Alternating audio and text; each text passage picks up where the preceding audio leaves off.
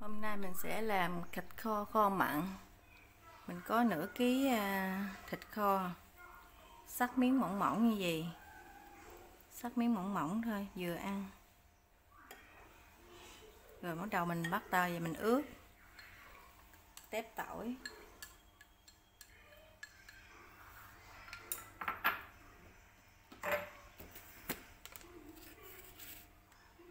Muối ba muỗng muối. Rằng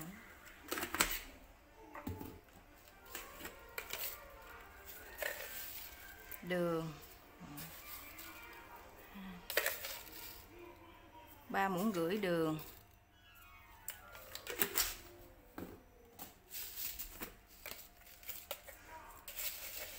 Bột ngọt. Một hai. Hai muỗng rưỡi bột ngọt. Rồi, mình trộn đều lên.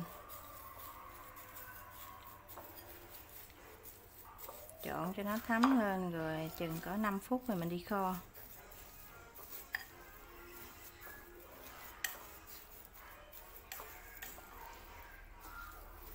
Rồi, mình để chừng 5 phút rồi mình đi kho nha rồi mình bắt lửa lên lửa nhỏ lên tạo màu mình sẽ một ba muỗng đường vô để mình tạo màu ba muỗng rưỡi sấy cho nước màu nó vàng vàng mình bỏ vô. Rồi như màu như gì là được nha, mình bỏ thịt vô mình xào. Cho nó bốc khói lên. Bốc khói lên. Rồi. Như vậy là được mình đổ thịt vô.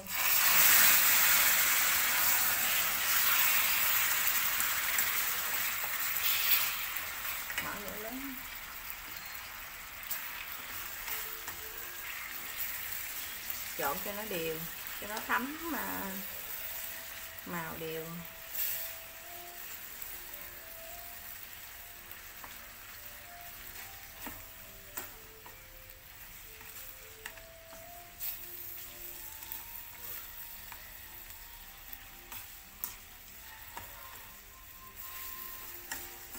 Cho nó săn miếng thịt lại, mình hãy đổ nước vô.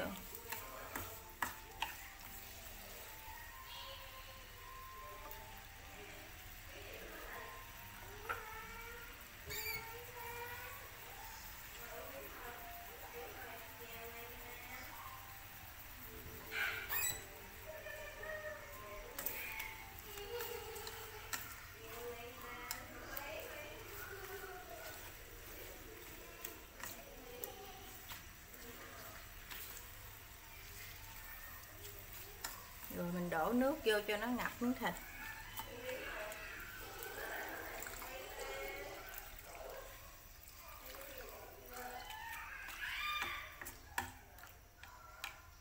Rồi xong, mình nấu cho nó sôi lên.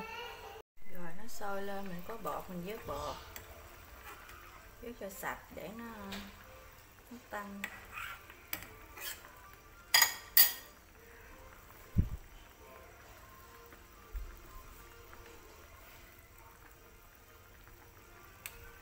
Đó mình bỏ trái ớt vô.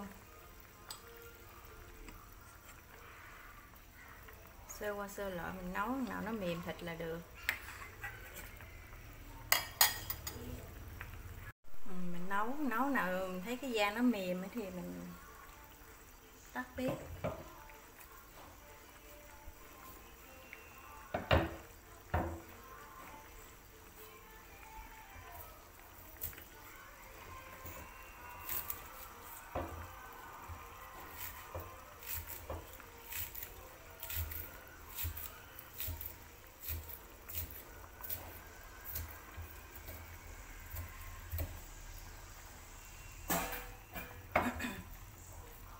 Hành vô gần chín thì bỏ hành vô.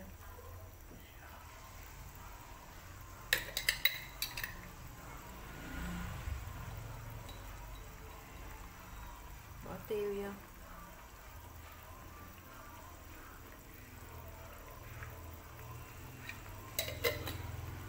Rồi, là xong, tắt bếp